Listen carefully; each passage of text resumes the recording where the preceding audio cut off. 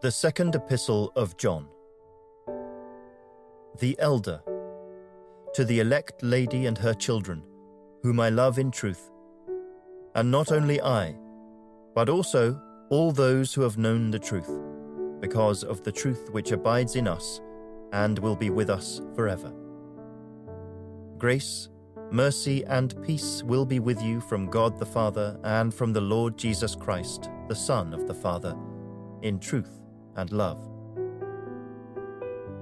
I rejoiced greatly that I have found some of your children walking in truth, as we received commandment from the Father.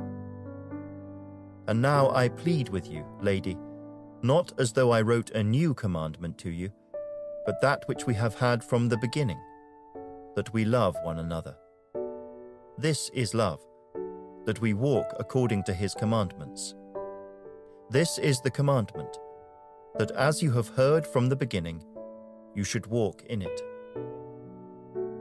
For many deceivers have gone out into the world who do not confess Jesus Christ as coming in the flesh.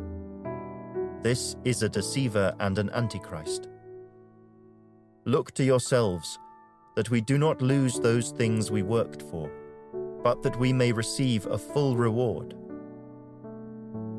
Whoever transgresses and does not abide in the doctrine of Christ does not have God. He who abides in the doctrine of Christ has both the Father and the Son.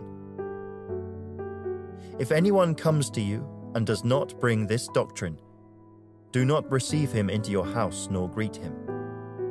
For he who greets him shares in his evil deeds.